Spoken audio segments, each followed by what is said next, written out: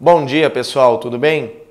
O médico Estevão Barbosa da Cruz, de 28 anos, que estava internado há 13 dias no Centro de Terapia Intensiva da Santa Casa, aqui em Campo Grande, morreu no começo da noite de ontem.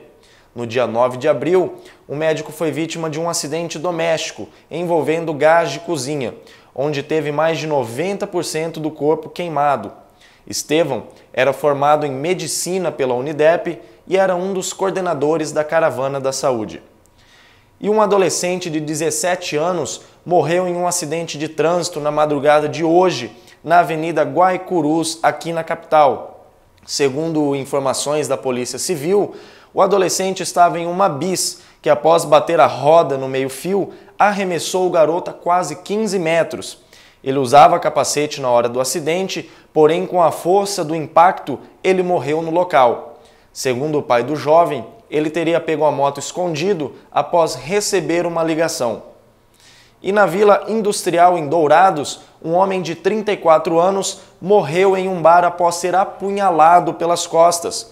Segundo o boletim de ocorrência, a vítima foi surpreendida sem tempo de defesa.